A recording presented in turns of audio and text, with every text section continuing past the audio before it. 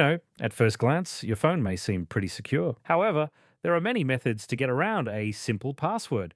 From physical data extraction to professional jailbreaking tools, there are many ways to get around device limitations of all sorts. Now, let's see how they do it. Starting with iOS devices, there are two main states that a device can have, which are after first unlock and before first unlock.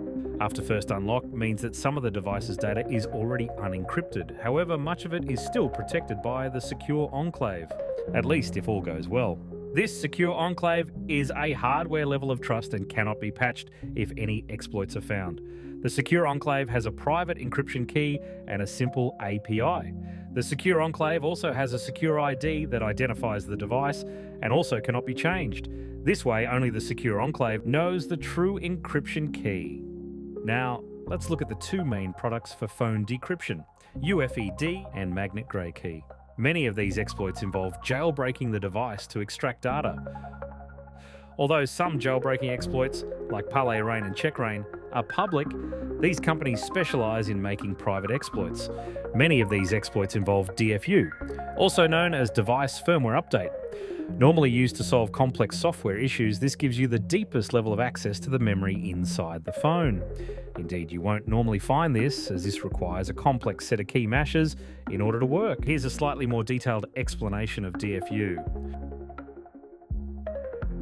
Now, let's dig into the more complex parts of jailbreaking.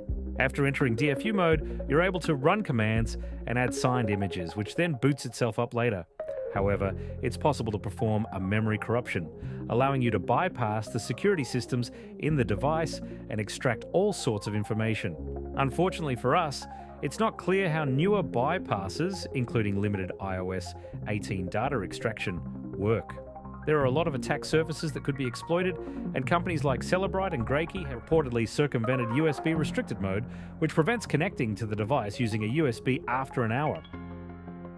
Of course, to counter these attacks, Apple has made all new iOS 18 devices automatically go into a BFU state. For extra security, if the device fails to do so, it will go into a kernel panic, also resetting the device. For now, phones in a BFU state cannot have their data extracted with just a USB. Yeah, well, for iOS 18 specifically. Also, it's important to note that sending a phone into a lab for analysis is getting increasingly difficult due to the security protections that devices are getting. While jailbreaking is often pretty fast, sometimes you just have to brute force it the old fashioned way.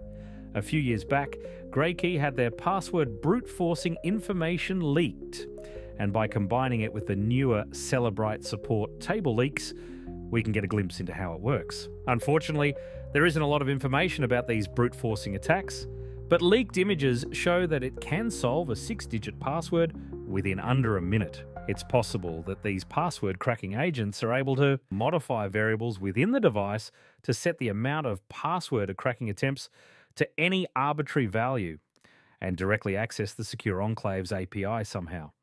Be aware that all of this is speculation for now, though. Both Cellebrite and Graykey are rapidly advancing on Android devices, and there are many possible reasons why. Here's my take though Android is not focused on providing security in terms of physical access. Android is often not updated to the newest versions, and companies that use Android often do not make it their quest to stop jailbreaking and information extraction. In summary, physical data extraction is pretty complicated.